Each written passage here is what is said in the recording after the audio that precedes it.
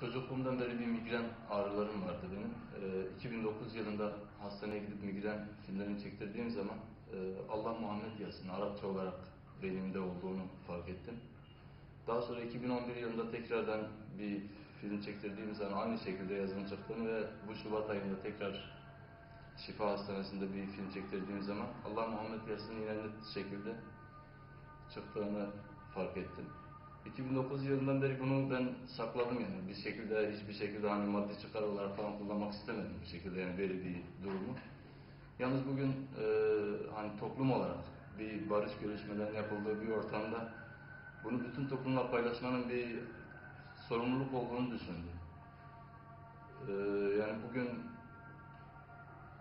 hani tabiri caizse çorbada tuzumuz olsun anlamında eğer bir şekilde kullanabileceksek bunu.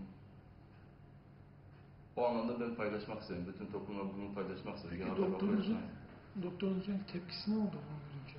Ya tabii doktorumuzun tepkisi şey olarak ben bunu gösterdiğim zaman hani e, beyindeki kan damarlarının beyindeki da, dağılım olarak söylediler. Hani bilimsel açıklama onu söylediler bana. Ama bunu e, imamlarla, müftülerle görüştüğüm zaman tabii ki hayretlerini gizleyemediler.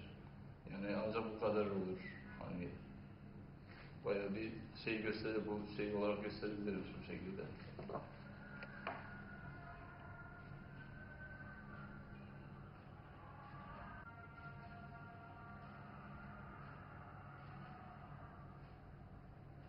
Söz çektirdiğim filmde e, bir sinyal eksikliği şeklinde bir şey keşfetti doktor. Doktorlar o şekilde bir ağrı kesici şeklinde bir hap verdiler. Allah'a şükür şu an ağrılarım dindi bayağı bir dindi. Ama bu şekilde bir şeye vesile oldu çektirdiğim filmler. Gördüğümde tabii şaşırdım ben. Hani e, Allah Muhammed yası tabii ki yani hani ben bunu hak edecek bir konuda olmadığını düşündüm önce hani ee, ve geçici bir şey olduğunu düşünerekten ben sakladım önce. Ama 2009'da çektirince hani aynı görüntünün var olduğunu görünce bir bu işin bir hikmeti olduğunu düşündüm.